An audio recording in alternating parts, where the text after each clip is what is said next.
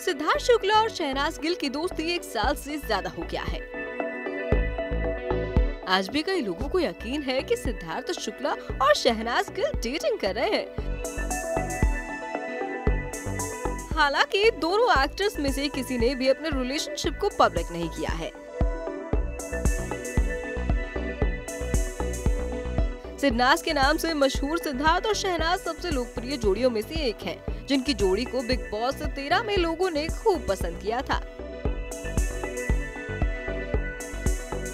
तो चलिए आगे बढ़ने से पहले फटाफट आप हमारे चैनल को सब्सक्राइब करना ना भूलें और साइड में लगे हुए बेल आइकन को भी ज़रूर दबाएँ, जिससे हम जब भी ऑनलाइन आए तो आपको तुरंत नोटिफिकेशन मिले।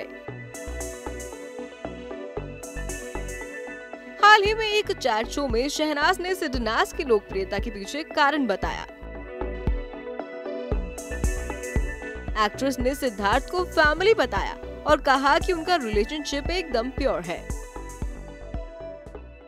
इसके साथ ही शहनाज ने अपने स्टाइल में कहा सिद्धनाज अभी भी फ़ेमस क्यों है? इसके पीछे एक ही कारण है। वो ये है कि हमारा रिश्ता रियल है। हमारा रिश्ता एकदम प्योर है। मुझे लगता है कि लोग इससे जुड़े हुए हैं। जिस तरह से उन्होंने मुझे प्यार किया है, वो मुझे काफ़ी अच्छा लगा। हम दोनों की एक दूसरे के लिए एक जैसी फीलिंग थी। ये बहुत प्यारा था। मैं खुद इस बात से सहमत हूँ कि उनके साथ मेरा रिश्ता अलग है। वो मेरे परिवार की तरह है। चैट शो के दौरान शहनाज को अपने बिग बॉस के दोस्तों में से एक को धमकी भरे लहजे में वॉइस नोट भेजकर हिम्मत दिखाने के लिए भी कहा। शुरुआत में शहनाज ने कहा कि बिग बॉस तेरह से उनका कोई दोस्त नहीं है, लेकिन बाद में उन्होंने सिद्धार्थ को वॉइस नोट भेजने का फैसला किया।